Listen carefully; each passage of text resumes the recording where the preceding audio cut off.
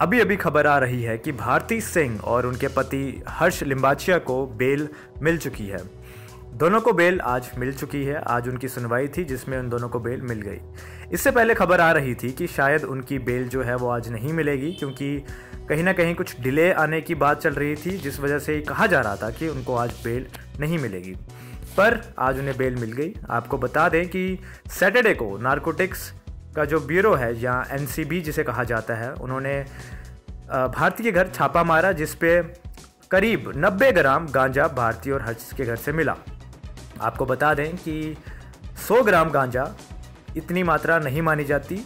अगर लॉ की बात करें तो एक किलो, यानी एक हज़ार ग्राम तक का गांजा जो है, वो छोटा अमाउंट माना जाता है जिस पे सज़ा भी दस हज़ार रुपये या फिर छः महीने की सज़ा होती है। छापा पड़ने पर सबसे पहले भारती को जेल हुई थी, सबसे पहले भारती को पकड़ा गया था, उसके बाद उनके हस्बैंड हर्ष लिम्बाचिया को पकड़ा गया। दोनों ने ये एडमिट किया कि वो गांजा को कंज्यूम करते हैं, यानी वो गांजा फूकते हैं। इसके बाद दोनों को जेल होगी, जिसके बाद उन्होंने बेल के लिए भी प्ली जो है वो फ़ाइल कर दी थी।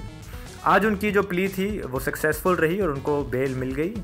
बेल मिलने का जो उनके वकील ने कारण बताया, वो ये बताया कि भारती और उनके पति हर्ष के पास कोई रीज़न नहीं है भागने का या एब्सकॉन्ड करने का तो बेल मिलने में कोई दिक्कत नहीं आनी चाहिए और वैसा ही हुआ, उन्हें बेल मिल गई। नेक्स्ट टाइम लाइफ से आकाश की रिपोर्ट